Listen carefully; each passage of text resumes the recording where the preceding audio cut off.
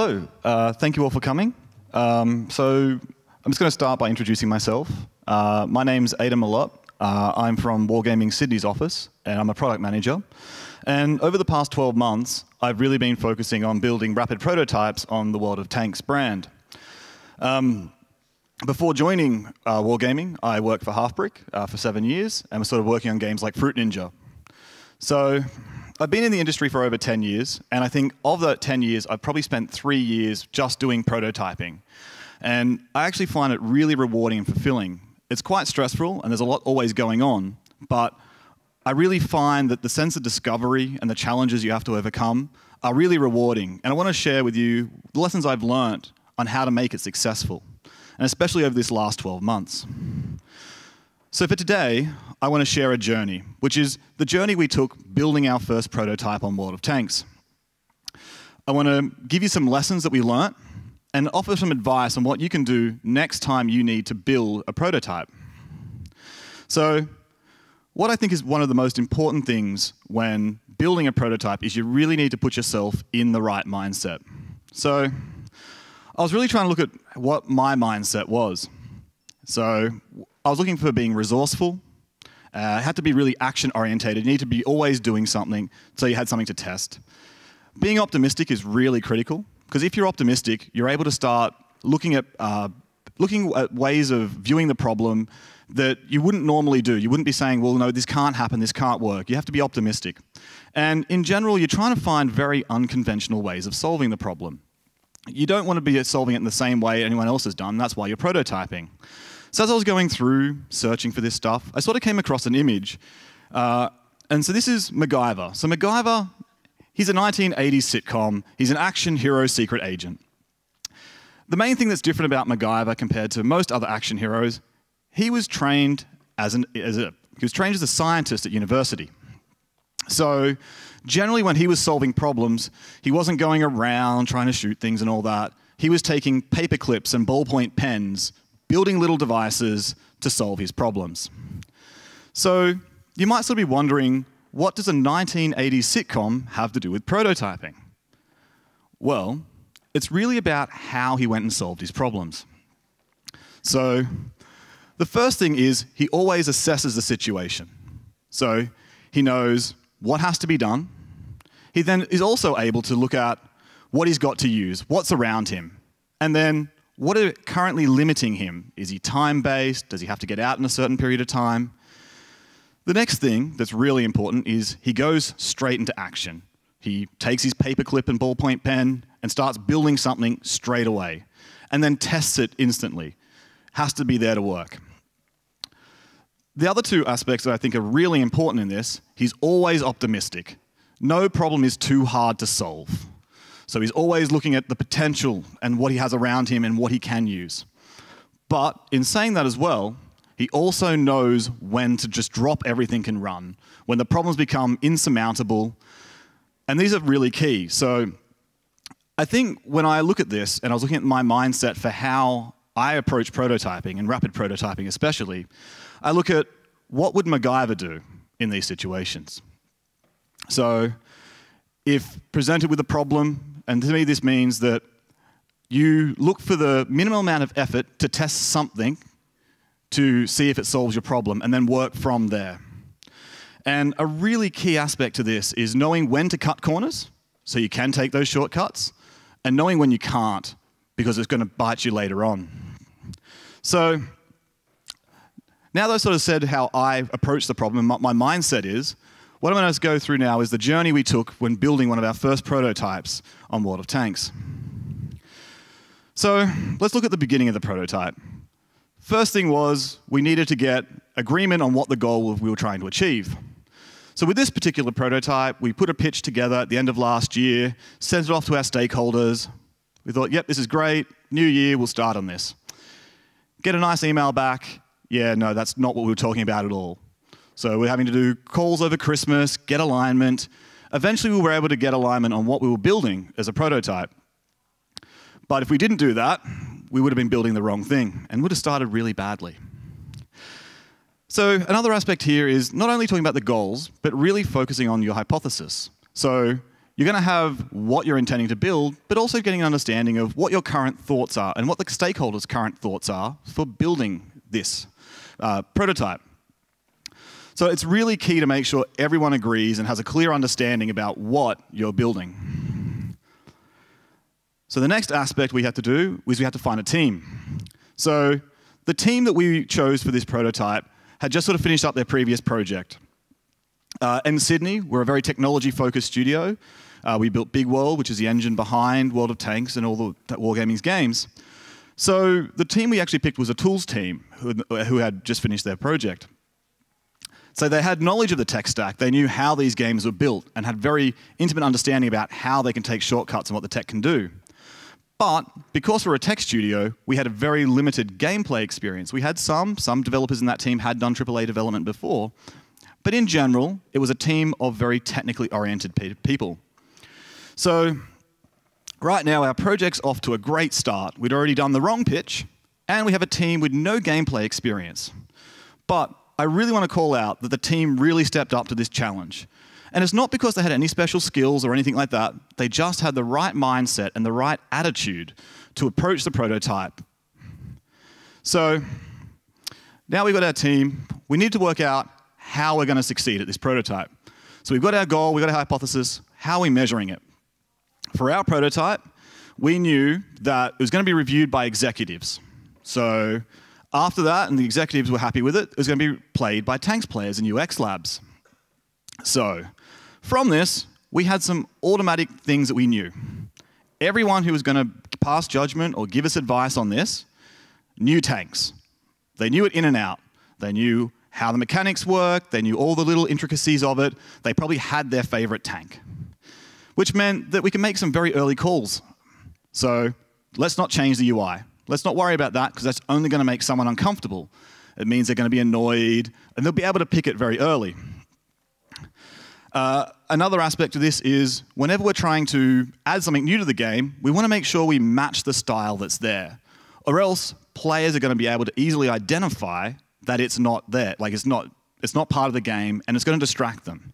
And this is one of the big things about working on an existing brand as well, is that because people already have preconceptions about the brand, whenever you change something or make something different, they're going to notice it straight away. But you also have the benefit of you already have working builds and you have this art that you can already access because it's there. So right now, we understood who was going to be reviewing it.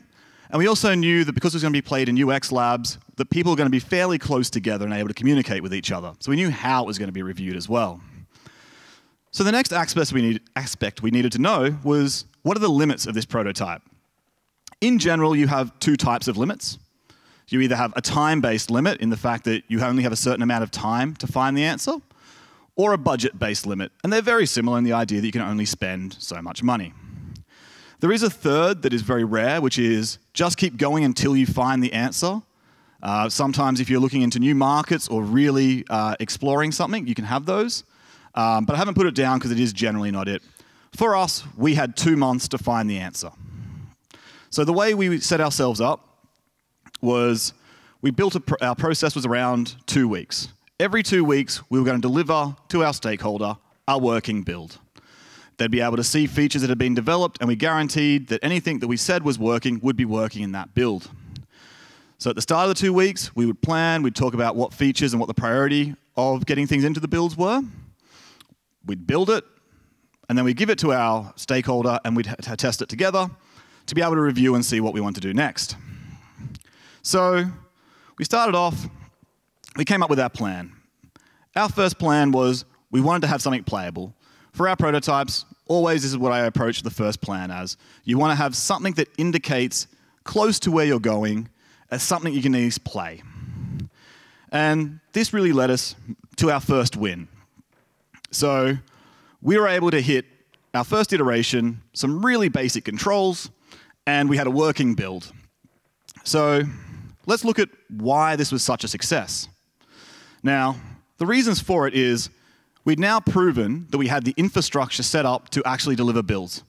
In the event that you don't have that and you can't deliver at the end of your first iteration, then you really need to invest more into this. And the other aspect of that is because we're able to deliver a build, our stakeholder had really started to build confidence that we're actually going to be able to achieve this. Remember the start I said for this one as well. We pitched the wrong pitch, and we had a team without gameplay experience. So this now all of a sudden meant, yes, I've got a build. I can see it. These guys are actually going to be able to deliver for us. Next, and probably the most important aspect, feedback can start. So our stakeholder was able to play the build, and even on those really early features that we'd built, start giving feedback to us. So it could be, I really like this thing, we should do a little bit more with it. Or, no, this is too close, we need to, to move it back. So you're actually really able to start that feedback conversation really early on. And the other aspect that's really important here is the stakeholder now has something, they can actually start selling it on. They can start showing other people what they've got, which really starts engaging them in the product. Because it's like, oh, I showed it to so and so, and they thought it was great and had this idea that we should talk about. So all of a sudden, they're starting to sell the product as well and getting feedback on it. So that's why this first iteration, once we sort of built it once, uh, built our first one and we were able to deliver it, we had such a success. Which leads me to the first lesson, which is if you regularly deliver builds uh, of your prototype, it builds confidence in your stakeholder. So your stakeholder is able to start having much more confidence that you're going to be able to successfully deliver this. You're going to be able to give the next build, and by constantly delivering it as well, and we was, as saying for us, we were saying every two weeks you're going to have a new one. That means that they know, okay, if a feature misses this week, it's going to be in two weeks, I'm going to see it again. I know it's going to be there because we've discussed it, and I know you keep delivering well every two weeks. So we had our first iteration, we've had our first win, and we were able to deliver a working build. Wasn't the actual full prototype yet, but it was the first little part of it. What we really need to work on to now was building an environment for creating ideas. So as I was saying, the team that we were using was a tools team. So they didn't, they weren't used to trying to come up with new ideas and weren't used to rapid prototyping where you need to be able to iterate really quickly. So we needed to start building an environment for them to be able to start engaging with this. So some of the first things we did early on, we ended up having a physical board which showed all our backlog. It was just on a wall next to the team's area. And what that meant was that at any point in time, anyone on the team could see the work that needed to be done for the project. But it was done with post it notes. So if anyone had an idea, all it took was getting a post it note, writing your idea, stick it on the wall. We had five columns on our, our Kanban board that was on the wall. So we had the idea area where anyone could throw an idea up. The next area was the backlog. So this was I'd talk to the person who put the idea up. We said this was a good idea, that we should do this, and we prioritize it with every other feature. After this, we had to do in progress done. And then every two weeks, we'd go through, we'd take all the done tickets off the board, shift them to the side, and start again. Now, this had some really big benefits and, and started to generate these ideas. But one of the biggest benefits was the discussions and the collaborations that started happening around this board. So we'd take someone would go put an idea up, someone else would see them put the idea up, go over, look instantly at it, and then they'd start a discussion, and already start refining that idea and start talking about. Oh, this would be good or that'd be good. So what I found early on, because we were really trying to get people to collaborate, to really want to start sharing ideas, this was one of our, our early successes to start really generating that environment where people would start collaborating. Which also led to, yeah, which also led to the second lesson. Now, when we had this board up, a lot of our first ideas were just about speeding up iteration. We just wanted to work faster. And when you're rapid prototyping, you know, you know that that code is never going to go to production, and it's not meant to. You're prototyping. So you can cut corners and do things that would not work in a production instance. A great example of this is that we added a feature that would reload all scripts when you hit F9. Could never do this when you release it to a player. That would just cause you nightmares and, and badness. But what it did for us what would have taken a game restart, log into a server, because we're building off the existing IP of World of Tanks here. So you have to log in, start a match to test something out, find out you set the wrong number, do it again. Just became a half a second. F9. Is it working? No. Change. F9. And then it became behaviors and things like that. We could test anything out. And it was just really quick and iterative. All of a sudden, we found, once we had this in, people started generating more ideas. And I was trying to look into this and what happened. And a really big part of it was there was this little idea in people's heads where it's like, I've got this great idea, but as a developer, I know how hard it is to implement, which means straight away, I'm, I'm just not going to raise it to anyone. Because I know if I had to implement it, it's going to take me a week, and I don't really want to spend a week on it. I'd work on something else. All of a sudden, we'd sped up the iteration. And they were like, oh, now that it's going to be so much easier and I don't have to spend a week just restarting the game to try something, oh, yeah, you should do this. And it's like, yes, we should have done that. So to, re- to me, the real thing here is once you start speeding up the iteration, you actually get much better engagement from your developers and the team that's doing the prototype. And really, prototyping is about making sure that you test as many ideas as you possibly can so that you can find the best one, you can find the gems. And quite often, that's not going to be the first thing you think of. You'll actually have to discover it. It also makes the team feel really valued because you're valuing their time and their investment by giving them the tools to succeed. So that was lesson two. So, another aspect that we did, we did a lot of playtesting. So we did playtesting twice a week, every week. It was always at 2 p.m. on a Tuesday and Thursday. Again, like delivering consistently, we made it our playtests were consistent. The only time we would ever delay them was if a key feature was only like 15 minutes away. Because we'd set ourselves up to iterate, we were able to get builds done quickly as well. So waiting 15 minutes wasn't a problem. Now, when you're playtesting, what you really need to do is be critical. And what I mean by this is, you may have built a feature, but if you don't like it, you really need to call it out. Because if you don't like it, there's a chance someone else doesn't like it, and maybe they're not speaking up. Maybe they're worried about hurting your feelings. But at the same time, that person should have spoken up as well. So you do need to be critical and think about it from the player's experience. You need to look at the features that are working and the ones that aren't and call them out. So you, you start up and go, yep, I really like this feature. And you should feel good about that. You've actually prototyped something and it worked. And the same time, you should do the reverse. It's like, we built this feature, it's just not working.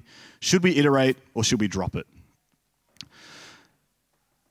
Another aspect here is we really did a design by feel.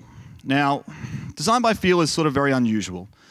In general, when you're designing, you come up with this idea at the start, and it's like, yep, yeah, it's perfect, we're going to work on it, and it's going to be like this. With rapid prototyping, I think the most important thing is to build something to start with. Spend less time overanalyzing the problem and just build one thing. Which leads me to lesson three. Be in action and testing enables idea exploration without overinvestment. So, the best example I have with this is I was at Halfbrick and I was in a meeting. We just had a critical change in our process and we needed to change one of our game modes. I had two designers who were arguing about, oh, it'd be better if we did this because of these reasons and, and all these theories. And after about 10 minutes of sitting in this room and realizing what they were talking about, I just got my laptop out and started working. They kept arguing, oh, no, this would be better. It's going to feel better for the player. At one point in time, I just interrupted them and said, I've built it. I built one of the solutions. And they said, geez, that feels horrible. I was like, yeah, all right, we're done. Argument over, let's move on. We had our answer. And by just testing one of the two, instead of sitting there discussing the pros and cons of either, we were able to really quickly come up with an answer. So we used our playtest to do this. We would just start with the best idea we had at that point in time, not overanalyzing it too much. We would build it, and then we just test it. And we'd go, this was great or it's not working. And we just iterate from there. We get learnings. Sometimes you have to throw it away and restart. Other times you're onto something and can progress it. So our playtest structure was really set up we did it an hour because we're doing it twice a week. We didn't want to invest too much time. We wanted to make sure we were actually progressing things as well. So we, we spent about an hour every, every Tuesday and Thursday. Our playtest was set up in a very similar structure in that at the start there was five minutes. We'd talk about what we're going to test today, what was new, what we wanted people to look out for. We called this the kickoff. And it, it, sort of got everyone together, got everyone focused. And it sort of made everyone start feeling like a player. Because all of a sudden, it's not like you're at your development machine, you're just gone from work that you were testing something, and now you're just testing the game again. It's like, no, take five minutes, let's get in the mindset of a player. You're going to be experiencing this as a player. You're going to go through all the loops, you're going to be actually testing it as a game. So this five minutes was just a, a, a mindset setting, know what to look out for, what we want feedback on at the end. Next, we'd generally play test for about 45 minutes, just go through, test everything out, people rotating through, trying different aspects of the prototypes and all that. After this point in time, we just call, yep, stop time now. We're going to take 10 minutes and we're going to gather everyone's thoughts. We're going to collect that input. We're going to really look at everyone's ideas and we're going to get everyone's ideas. One of the things I made sure we did is when we're actually doing this retrospective, actually ask everyone and make sure everyone at least raised one point of something they liked from what had been built or something that wasn't working for them. From that, we generate action items, post it notes, wall. Meant that we're able to action really quickly and just have it built into our flow. So, when I was talking about our two week process before, where we plan, build, and test, our features ended up looking much more like this. We'd plan, build, test, do a play test. And from that, we'd get new actions, new changes. So we'd plan, build, test. And in this, we're trying to look at different features and all that. So we might finish a feature after the second iteration. We're happy with it. We found an answer. We want to give it to our stakeholders. Start the next feature and all that. But it was really just this constant iteration and just making sure we're testing, but testing from the player's perspective, not just testing it that it works, but actually playing with it before we'd actually say it's done. Which led us to actually the fourth lesson that we learned. And this is you need to think about how your prototype is going to be experienced. This really enhances the player's experience of it. So, because every time we did a playtest, we had to go through what our end user was going to have to do. We're going to start from scratch. You're going to have to log in. You're going to have to go into a battle of this type and do this. And what it meant was that we're actually reviewing the game not from, hey, does feature A work or feature B work, but we're reviewing it from how they're going to experience, how they're going to see it. What's the first thing they're going to see from the prototype? Is it just too hard to get into? In one of them, we had to set up a, a description in the room to say, hey, we're doing this type of prototype now. And I remember getting a message at like midnight Australian time, because obviously we're in terrible time zones, uh, saying, hey, is this actually working? I'm like, well, you should know. It was a very big change to the game. And I was like, did you do this? No. Well, yes, it's not working then.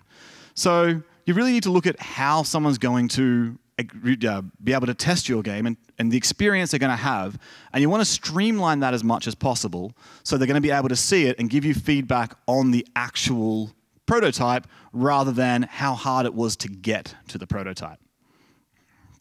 So, from this, we'd built an environment for ideas. So, what were some of the benefits we were immediately starting to see? The team started having much more energy because they felt heard. They could raise their ideas. They could, from our playtest, we could action things straight away. And the team started to feel a bit of investment in the product because they were actually able to make changes in it. We were able to start collaborating on the product with other people within the studio, within our team. We we're able to make those changes. And because when these changes were coming through, people are actually able to start driving those changes as well. So it's like someone comes up with an idea from one of the playtests, sticks it on the wall, but then they actually start implementing and working on it. And they could drive the direction of that idea through to delivery to the stakeholders. The last aspect that this process really made for us was we always had a working build. We were testing this twice a week, Tuesdays and Thursdays, which meant at most, a build could be broken for one day. or else you were wasting everyone's time. So, because of this, we really focused on always having a working build and always someone playing it. And these were some of the benefits we were getting from generating this environment for ideas. But we still had a stakeholder relationship where during our planning meetings, we were sort of setting a lot of the decisions. So we really need to start focusing on empowering the team to start owning the prototype, really investing in it, and starting to drive the prototype with the stakeholders. We're not trying to exclude them. but we want to make sure the team has the autonomy not to be slowed down by waiting for answers, which for us from Australia is a big problem with a 24 hour turnaround. So, the first thing you need to do if you want to start empowering the team to make decisions is you've got to talk about problems and not solutions. So you've got to look at why are we trying to make this solution work? And always work back to the problem you're trying to solve. Now, for me, I come from an engineering background. This is really hard. I like solving problems. I've made a career out of solving problems. But if you do that, you rob the team the opportunity to solve it. You've solved it for them, you've done the creative part, they're just implementing it now. This isn't fun for them. You've just created this uh, environment for generating ideas, but only your ideas are heard. So you really need to make sure that you, when you're working with your stakeholders or prototypes and all that in general, that you try work back just what problem are you trying to solve, so that then you can empower the team to find the solution for it. Now, a key aspect of this is you need to build alignment. You need to make sure everyone is facing the same direction, talking the same way, and selling together. And this is really key because once you build alignment, you're able to start earning trust and autonomy. Which really brings me that fifth lesson, which is when you have alignment, the team has that trust and autonomy. So once you've got the alignment, um, you're able to start making decisions. And your stakeholders will know that you're making the right decision because you're all aligned and they would have made the same decision at the same time. But what happens if you get it wrong? Well, you're delivering a build every two weeks, you're syncing weekly anyway. It's not going to get that far out of hand if you make a wrong call. Because you're all aligned, it's not going to be that far off. And in the event that the wrong call was probably made, then you probably haven't shared enough information. There's also a second side to the alignment, which is not just for the team, it's also for stakeholders and people selling your product onwards. In the fact that they're aligned with what features are coming and where the, the product direction is going.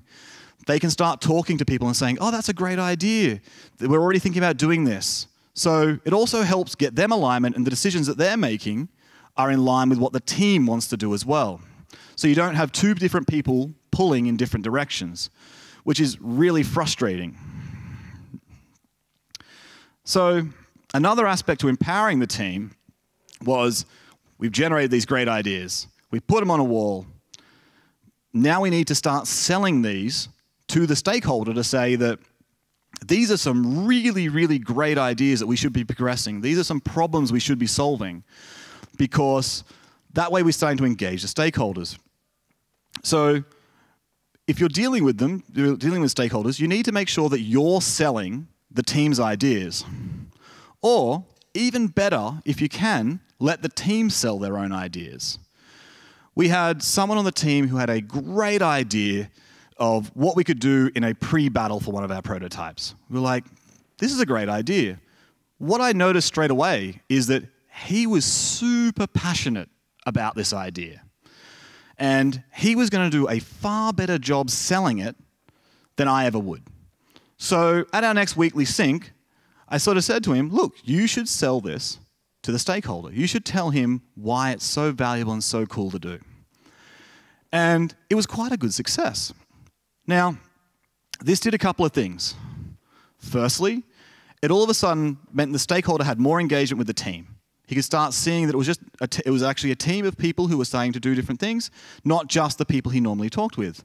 Secondly, it meant the team felt they could be heard even at a higher level for their ideas. And from this, we've got to lesson six, which is having a takeaway each delivery makes your stakeholders more engaged.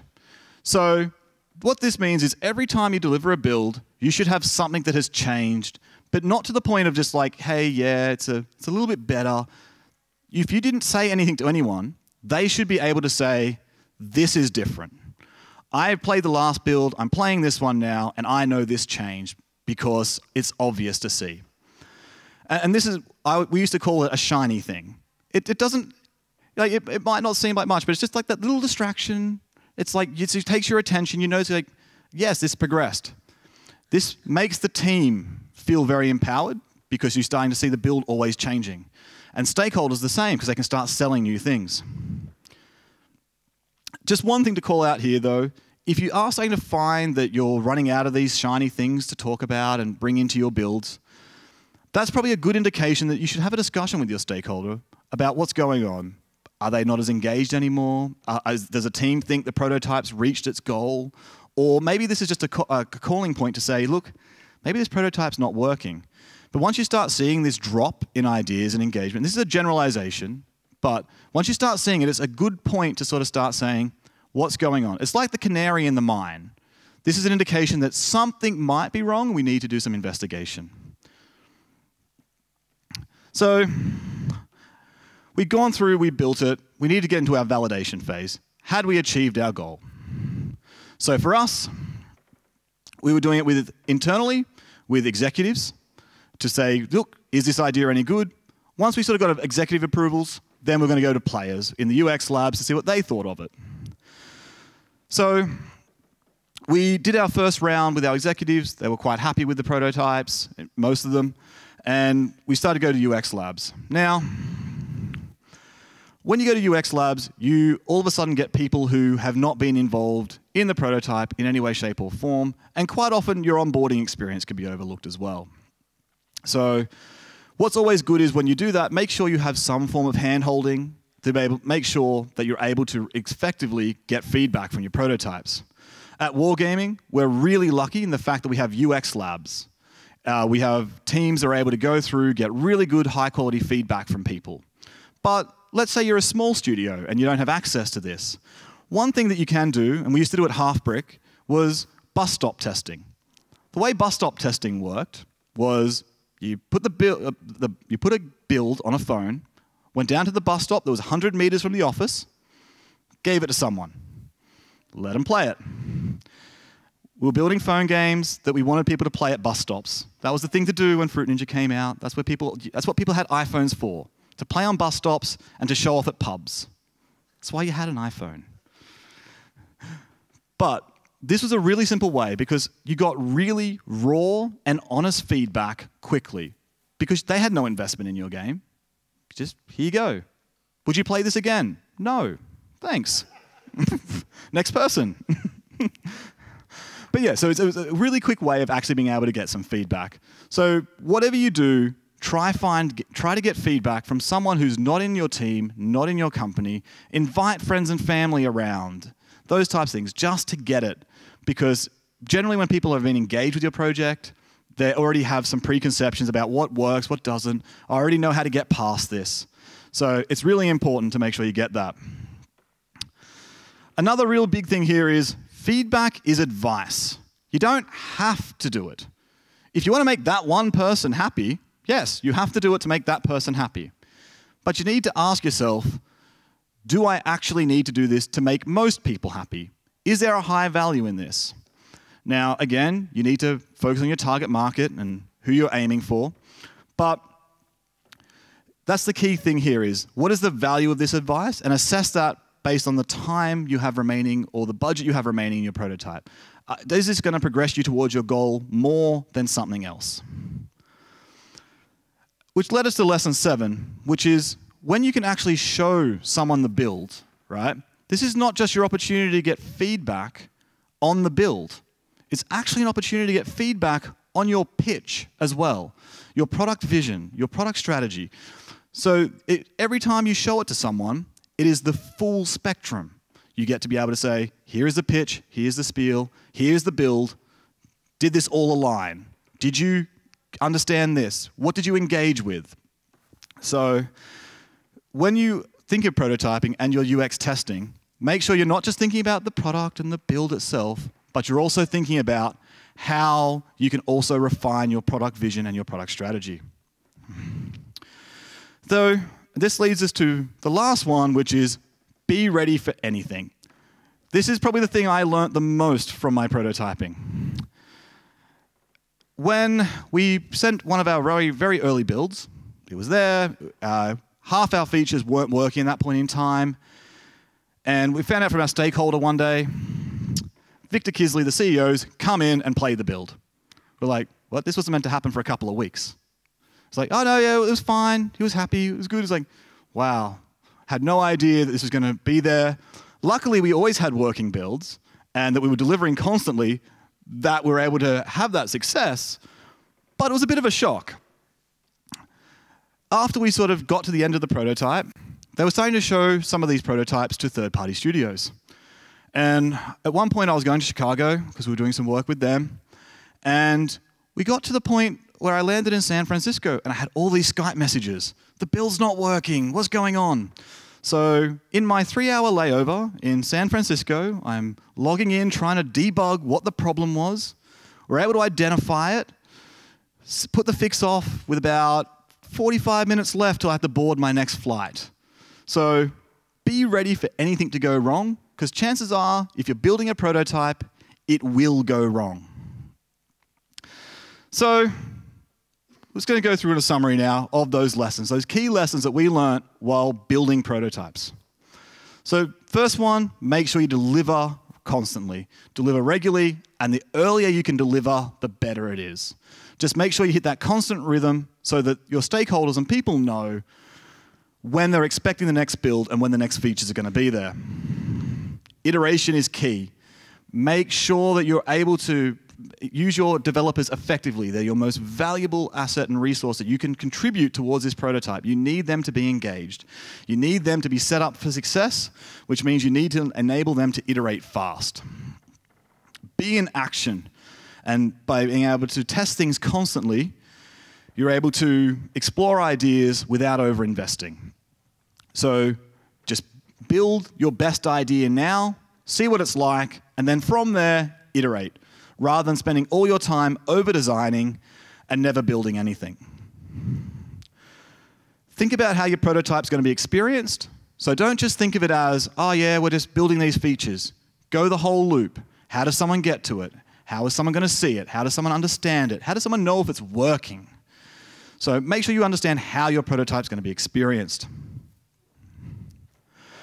Make sure you align on your goals at the start.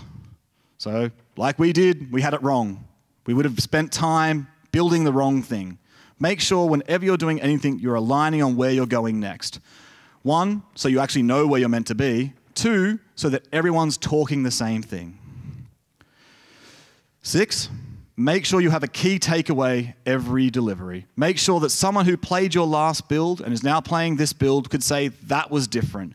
I noticed this because that's what you're going to get feedback on. And if not, people will start going, ah, this is becoming stagnant. I don't really want to play it anymore. So this really keeps people engaged. They can go, oh, that was different. That was interesting.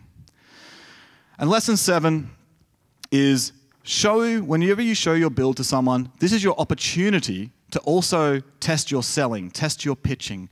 Because you don't get a lot of opportunities for this, but it also means that you can test how your pitch matches the product as well. And the last real thing I want to say for if you want to actually get prototyping done and really effectively is prototyping success, I believe, is really hinged on how engaged your team is with the prototyping process. They don't need to be engaged with the actual prototype. That helps, obviously, but what you really want is the team to be engaged with the prototyping process making sure they're going through, testing things, building things quickly, iterating. Because if you have that, you'll make sure you test out more ideas and you're using your people and your teams the most effectively as you can, which will make sure you get closer and better successes. And in general, what I've found is everyone has a lot more fun prototyping and a lot less stress. So I just want to thank you all for listening, and I'll open it up for questions. Thank you.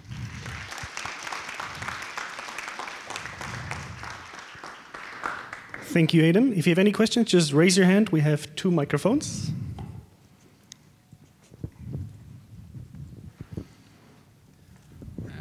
Hello. Uh, how about um, second chance for rejected idea? And uh, second, um, how about idea from community, from forum, from mod, from? Yep. So uh, in regards to the idea of how do you get second chances for ideas. So in general, the way I look at prototyping is you don't really have failures. You only have learnings. And a key reason for this is that at the start of development of that idea, everyone agreed it was a good idea. No one said, look, I don't think this will work, or we shouldn't do this, these other ones are more important. You all agreed as a team, as a group, that this was worth doing. Now, you get to the end of that and you can go, look, this isn't working. It's going to maybe take too long, too much more investment. There could be a lot of reasons that you choose not to invest into it more. But you might find after doing some other tests or other experiments that all of a sudden this idea isn't as hard anymore. Or now that we've solved these other problems, this can come out and be more effective. In general, you've got to use your time or your budget effectively to answer the question the best you can. So I generally find that it's rare for you to say, no, this idea is, is dead to me. I'm never going to look at it again. It was just bad. In general, it's, it's a learning that you might apply later when the situation changes. Uh, in regards to sort of looking at communities and all that, when you're prototyping internally on your own product, you, while you might get inspiration from the communities, you're generally not going to be using them to get feedback from unless they become in the UX lab tests. And because of that, you don't generally will have that feedback and it'll provide inspiration. And again, like I was saying, communities are probably giving you answers, not their problems. So you're going to have to work back to what their problem was to effectively try come up with solutions. And it might not be theirs. So yeah. Does that answer your question? Don't be shy.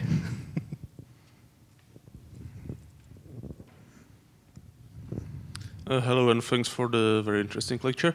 Uh, I have a quick question regarding your bus stop testing. Uh, well, or equivalent in the, uh, whether you performed any equivalent uh, in the World of Tanks experiments, like if you, for example, tried to drag in uh, into the testing some team from other office not related to the team, or even just people from your office not not involved directly in the development. Yep. So yes, we did uh, a lot of that. So uh, within the studio of Sydney, we work with lots of projects and lots of different games. Um, and because of that, it actually means that people within the studio are actually quite good. They might not have a lot of visibility on the project, which means that they get very fresh eyes. Um, we have a very open plan office, which actually means uh, we set our playtests up to be in the middle of our areas as well. So in general, when you have a bunch of people sitting around playing a game, calling out to each other, or because you're prototyping, yelling at the game, right? We had a lot of that. That was that was actually one of our benchmarks for if a feature was working. If, people weren't yelling out or saying, "Damn, what's going on?" We've, we've actually probably hit a point where it's working now. Um, but when this starts happening around the office, all of a sudden people just start naturally crowding around to see what happens. Oh, why is everyone yelling out over here? Uh, or if you have a whole bunch of people standing around at the start of a playtest, you generally get a few people who's like, why is everyone standing around here? What's going on? Um, but yeah, so we then do that. You can get other people engaged. And when you actually want to do a structured test, you can say, hey, look, we want, we generally target a team. It's like, hey, can this team come test this out for us? But we're also working with the Cyprus office as well, and they were organising playtests within Cyprus and other studios around, uh, as it was much harder for us in Sydney. Uh, we'd set up some test servers in Europe, so we're able to quite easily be able to get any studio to connect effectively. So we did lots of testing uh, with lots of people.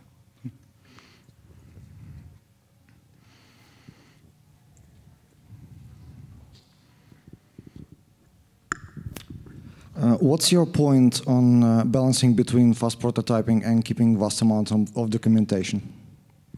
Uh, so was the question for this one, what's the uh, What's your point on balancing between fast prototyping and keeping vast amount of documentation yeah. on your prototype? So for anyone who knows me, my writing skills are horrible. So um, all up, so documentation is important, uh, but in prototyping, I focus documentation on uh, how to set up a build, how to make things work and run, and we use a backlog to really define where our ideas are and what our thinking is. Yeah, you've got what's being done and things like that, so you can be able to review the backlog for where your ideas were, and then what's coming up. As you get to the end of a prototype, I believe things change. You've already got some of your answers, and at this point in time, you start writing more documentation. The reason I don't invest and don't encourage investment in documentation early in rapid prototyping, especially, is by the time the document is written, it's probably out of date. Because, as I was saying with the two designers who were arguing, by the time someone's written up a document, an engineer's probably started it, found a problem, and already changed it in some way, shape, or form. So I would try to keep it very task based, and our documentation really for our prototypes was that board, that wall we had that had all the information of the project on it, and then it was just build, setup, and deployment that we were more storing as actual documentation. That's just for rapid prototyping. Once you progress past that, documentation is much more important. Yeah, my follow-up question. Um, I'm sure you, your, some of your devs demand um, quite um, enough documentation for them to start working on the feature. How do you work with them um, in terms of documentation? Um, so the key aspect for us was that we really focused on defining a problem, right? Anyone can have a solution to a problem. And we wanted to really focus on that collaboration. So um, for the rapid prototypes at the start of the year, I was doing design. So when someone wanted to start a new thing, they'd just come talk to me. We'd have a quick discussion about what this was meant to do, and they'd just start working on it. We, all, we, all, we had an alignment between us on what the goal was, and I trusted them to achieve that goal. And what's the worst that was going to happen? In two days, we'd test something, it's not right, we'd iterate with feedback from the team. So we had, and that happened, right? There was times when someone would take a task off the board, start working on it, great. No, that was totally not what we were aiming for. Okay, we've lost two days, in, or one day generally in development before we tested it. Okay, let's change and, and replan. So while yes, it can have some negatives, in general, the fact that the team becomes more engaged and empowered to make the decisions on the project, they actually become much more effective and is provided you're communicating the direction you're going and why you're going that way, they'll make the right decision. They'll understand what needs to be done. And just have people talking and collaborating together. So have an engineer's working on it, get them to pull a designer or a QA over to their machine for 10, 15 minutes, talk about where things are at, is it good, and keep going. Uh, hi. Uh, at the end of your speech, you tell us uh, we should prepare. Uh, we should be prepared for everything, and your cool story about uh, fixing bugs in at the airport. Uh, so, how about functional testing? Can you tell us a little bit more of it? Functional testing of prototypes. so I would so we had QA who were doing functional testing based on the problems we're trying to solve. And it was, it was really on our key goal for functional testing was is the build not broken, right? That was the key aspect we needed. Now, we were a very close team. We are always communicating and talking. We had the board to be able to explain where projects were at. So our QA really worked closely with our development team to understand, okay, what are you intending this feature to do?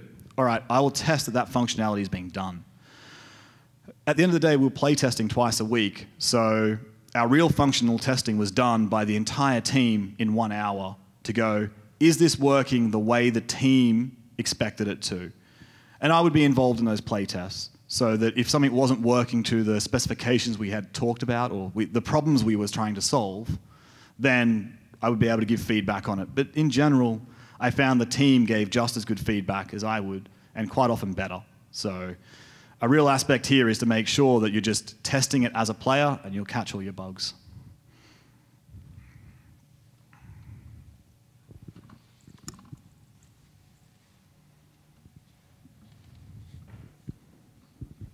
Uh, hi, thanks for sharing your experience. Uh, my question is, uh, if you had a different selection of teams, uh, would you do it again? Would you select the same team for uh, prototyping? I mean, uh, does it or did it matter? Uh, so I believe the most important aspect in prototyping is your mindset. And as we took an example here, we took a team that was very tech focused and applied the right mindset and empowered them to be effective, and they achieved success. And I think that you can take an amazing gameplay team who can do really great stuff, but if they're so focused on a production mindset and not a prototyping mindset, I think they would be much worse than the team that we use to achieve this. So if I had another choice, I would use the same team again because it worked well. And I've worked with a lot of prototyping teams over the years. Some of them have been amazing. Some of them get behind the idea. I've seen two-man teams that are hyper effective. I've seen five-man teams that just can't get along, can't get in the mindset, and everything becomes about designing and it just fails. So for me, it's just purely on, do these people want to solve the problem? Are they invested in iterating? And probably the biggest thing is, are they able to let go of ideas? If something's not working, can they drop it and move on to something else? If you hold on too tight to the idea you have, that's where you'll start failing. Okay, thank you. Okay, so I think that's it. Thank you very much for the presentation and thank you for the questions. Thank you.